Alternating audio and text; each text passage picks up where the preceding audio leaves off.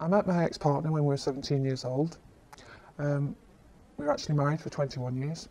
Um, we had three children. Um, they, they were the product of that marriage. The abuse started really, really early into the relationship. It Started about three months into the relationship, um, and the, it started with physical violence, actually, to start with. Um, it, I think it was a way of controlling me, basically, because we worked in the same workplace. He didn't like um, me to have attention from other people. So that was definitely one of the controllers at the beginning. Um, with that, coupled with that, became the emotional abuse. Um, so ways of actually stripping my character away, I suppose, was a good way of describing it. Um, I was always the girl that worked, you know, I worked in a department store at the time. I was always the girl that wore the bright yellow tights, and I was always the girl that wore bright, bright red tights. And all of a sudden, I'd become this dowdy person.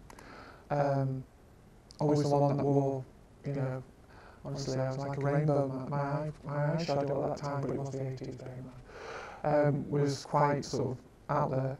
Um, I was a visual merchandiser at the time, so quite quite trendy, quite a good job, you know, and quite soon um, I became the, the ca character that I wasn't actually. Um, it was it was really strange because being in the role I was I was actually in at that, time, um, quite often we'd have to work late and he wouldn't work late, and um, as I say, I was, I was a visual work merchandiser. He used to actually sit outside the window, watching, watching me work, which is really bizarre and freaky. Um, but that's that's probably a context of how, how my life developed with him really. It was that constant under the spotlight, constantly being watched, um, constantly being picked up on from ways you behaved, um, how you actually worked with other colleagues. Um, and that's been the way it has been all the way through, through my relationship with him. When I went to university, and I was determined, I was absolutely determined that I was going to make a better life for myself. And, you know, even though it was hard, it, you know, it was, it was difficult to go to university and to come home and be abused because I'd been to university because, you know, I was having sex with everybody at university or I was doing this, I was doing that, I was doing the other.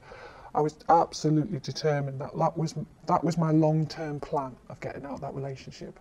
The only way I was going to do it was actually to make myself financially sufficient to get out of that relationship.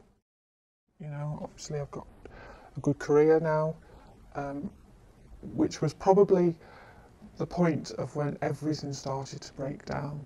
Because as soon as I'd, I'd got myself a, a, really good job, um, his insecurities came out even more than ever and he was determined that, you know, I should give up my job. I was constantly being told to give up my job. Um, if only, I, you know, if I wasn't doing that stupid job, then everything would be fine. If I just went back to making roast dinners, everything would be fine. Um, and obviously I was, I was changing, I was evolving as a person, I was growing as a person. Even though being under the constant spotlight of negativity, of you know being told how worthless you are. Um, the constant name calling as well was horrible. Constantly telling you what you looked like and how disgusting you were, and that you know you're a slag, you're a slut, you were this, you were that, constantly. And as I say, it's that part that actually, for me, has taken the longest to get over, because it completely wipes your confidence out um, you know, where you, you can't even, I didn't even want to walk out, you know, it's sort of, well, what's the, walk out the door, what's, what's the point? There's no point even attempting to dress well because, you know, you just feel so, so worthless. And it's almost linked to, as well to depression, I should, I should imagine, you know, because that's the way I felt. I felt very depressed, felt as if there was no escape from it, you know, contemplated suicide. Um, because I just thought, how do I get out of this? I cannot no longer live with this situation. Yes, he'd constantly contact me at work, constantly. I'd get the text messages, I'd get phone calls.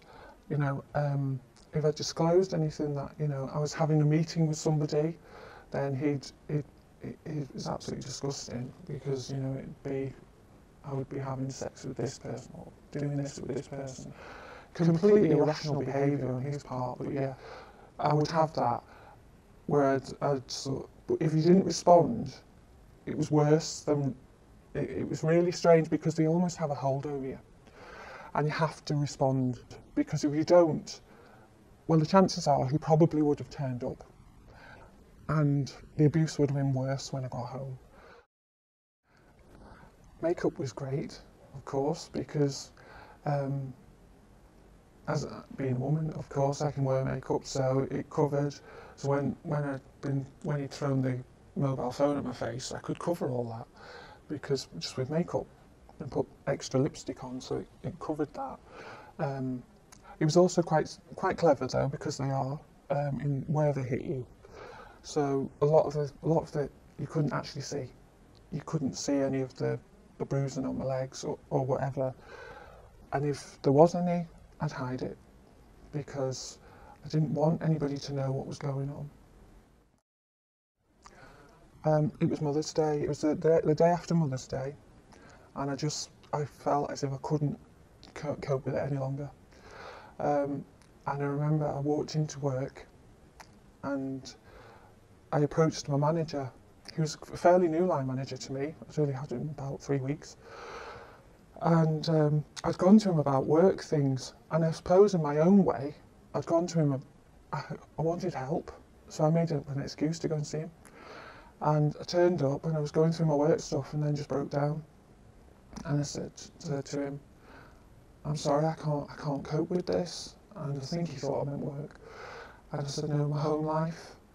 And, and now, now when I look back, now I'm thinking about it, I was actually absolutely overdressed that day when, when actually I did, I did speak to him um, to hide the marks because um, because he'd, he'd been to our house on Mother's Day and we didn't do what he wanted to do. Um, I was then I was he assaulted me.